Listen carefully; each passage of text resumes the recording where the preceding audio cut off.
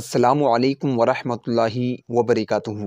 नाजरीन ग्रामी, मेरा नाम है मोहम्मद अनस और आप देख रहे हैं ए एच टी वी नाजरीन ग्रामी, इस वीडियो के अंदर हम आपको सिखाएँगे कि नमाज़ जनाजा किस तरीके से अदा की जाती है। यानी कि नमाज़ जनाजा के अंदर हमको क्या क्या पढ़ना रहता है और कितनी तकबीरें बोली जाती हैं, सारा तरीका हम इस वीडियो के अंदर आपको बताएँगे। तो इस वीडियो को अभी से लाइक कर दें तो चलिए शुरू करते हैं। तो नाजरीन ग्रामी सबसे पहले मैं आपको बता दूँ कि नमाज़ जनाजा जो पढ़ी जाती है, उसके अंदर रुकू और सजदा नहीं होता है।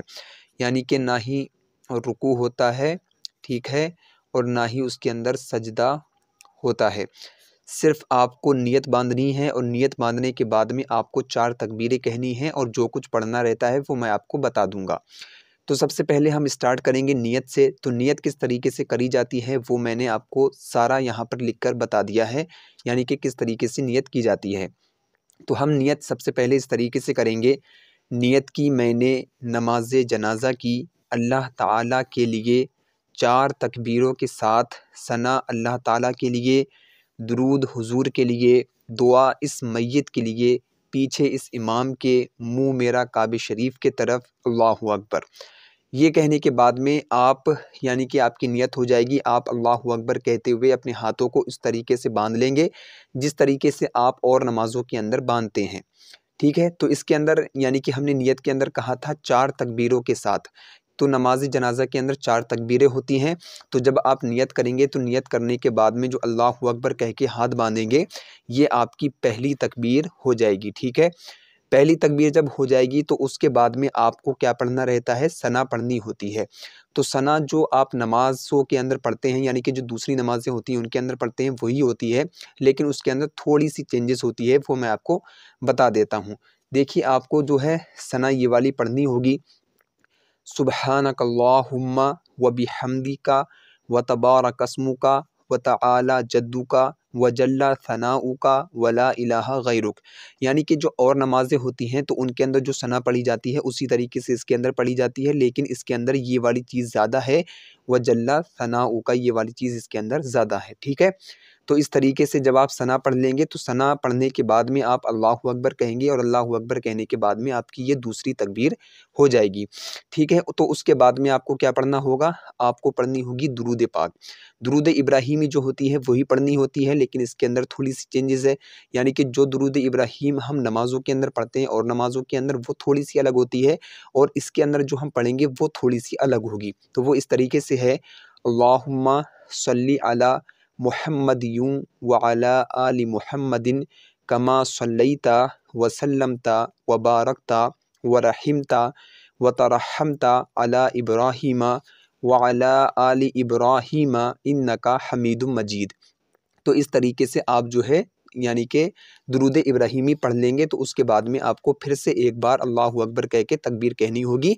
तो इस तरीके से ये आपकी तीसरी तकबीर हो जाएगी। तीसरी तकबीर के बाद में आपको एक दुआ पढ़नी होगी, वो दुआ इसके अंदर लिखी हुई है, वो मैं आपको बता देता हूँ। लेकिन ये वाली दुआ आप तभी पढ़ेंगे जब यानी कि जो मैत है वो बालिग होगी, यानी कि जब वो बालिग होगी मैत तभी आपको ये वाली दुआ पढ़नी होगी। और अगर मैत किसी बच्चे की या फिर बच्ची की है तो फिर उसकी दूसरी दुआएँ हैं, वो मैं आपको बता दूँगा। तो बालिग के लिए आप ये वाली दुआ पढ़ेंगे अल्लाहुम्मगफिर लिहय्यिना व मैयतिना व शाहिदीना व गाइबिना व सग़ीरना व कबीरना व ज़करना व उनसाना। अल्लाहुम्मा मन अहयतहु मिन्ना फ़ाह अलल इस्लाम व मन तवफ़ैतहु मन्ना फ़तवफ़हु अलल ईमान।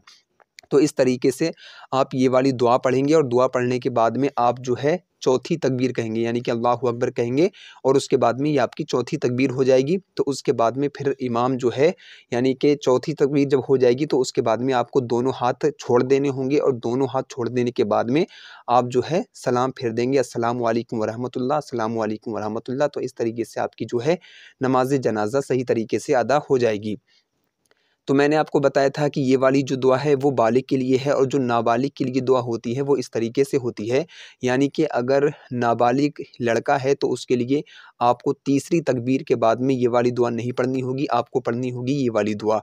वो इस तरीके से है अल्लाहुम्मज अलहू लना फ़रतऊँ वज अलहू लना अजरऊँ वज़ुखरऊँ वज अलहू लना शाफ़ियाऊँ व मुशफ़ा तो तीसरी तकबीर के बाद में अगर मैत नाबालिग बच्चा है तो आप ये पढ़ेंगे और उसके बाद में आप, यानी कि चौथी तकबीर कहने के बाद में सलाम फेर देंगे।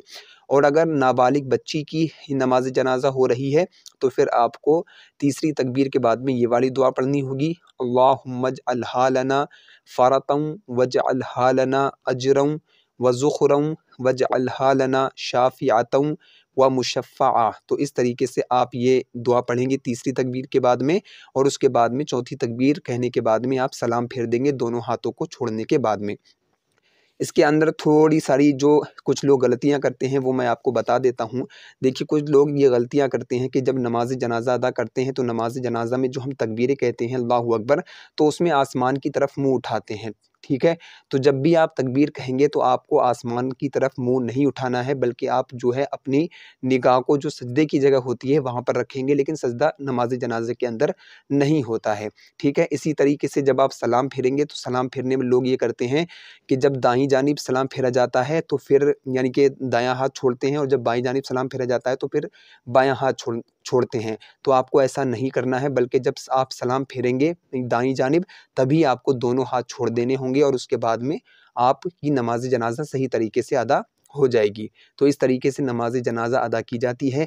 उम्मीद है कि ये वीडियो आपको पसंद आई होगी। अगर ये वीडियो पसंद आई है तो लाइक और शेयर ज़रूर कर दें और चैनल को भी ज़रूर सब्सक्राइब करें। मिलते हैं एक और शानदार वीडियो के अंदर। जब तक के लिए अल्लाह हाफिज़।